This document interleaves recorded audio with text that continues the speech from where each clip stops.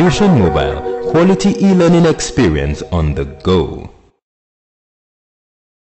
Hello and welcome to Fusion Mobile e-learning class. My name is Fayomi Kende and this is English language. Today we are going to be taking a look at a particular topic under continuous writing and this topic is record keeping. Record keeping. What do we mean by record keeping? Record keeping is an account of something. A record is an account of something that is written and kept so that it can be referred to and used in future. It is a proof that something happened or that an activity took place. It is permanent because it is a written document that can be kept indefinitely.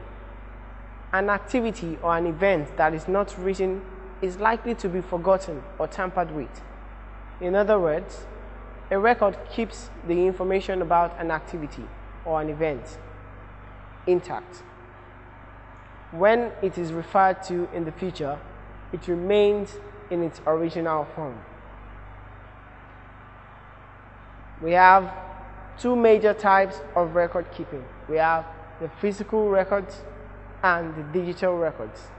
The physical records are those records that can be seen and touched. They include documents, they include ledgers, they include the results of an examination or the grading of an examination, the plan or blueprint of a building. They include certificates, legal forms, personal diaries, etc., etc.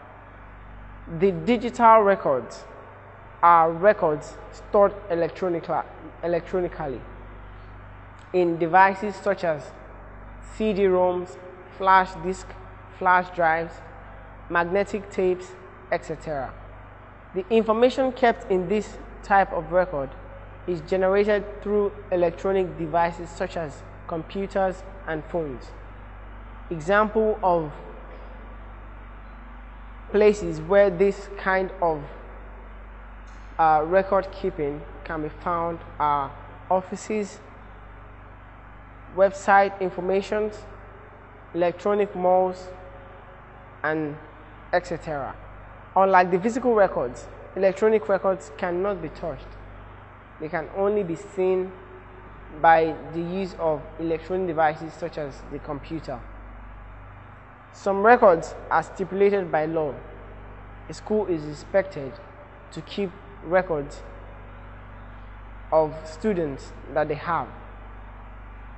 A school is expected also to have a register.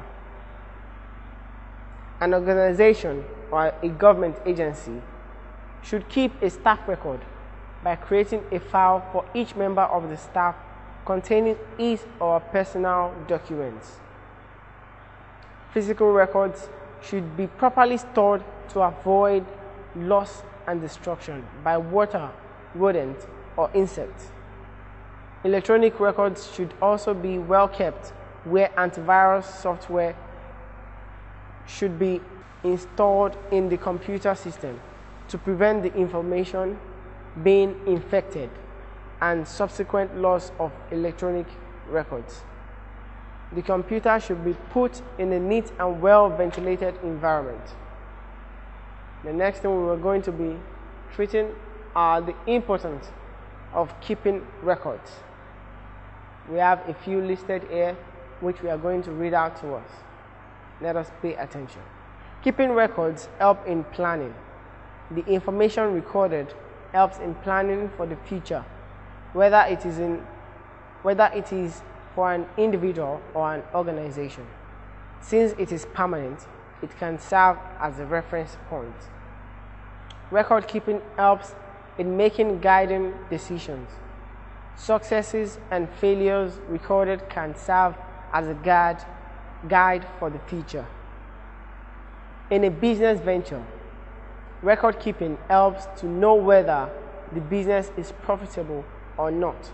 For example, a record of the capital invested in a business the overhead cost, staff salary, utility bills, e.g., I mean, example, electricity, water, and other expenses will enable the investor to know the profit made or the loss incurred. Record keeping also makes people accountable. A record of financial transaction will expose a fraudulent officer. It is a crime, it is a criminal offense to falsify or alter a record. It is a criminal offense to falsify or alter a record. A few questions are going to pop up on your screen for you to attempt on record keeping.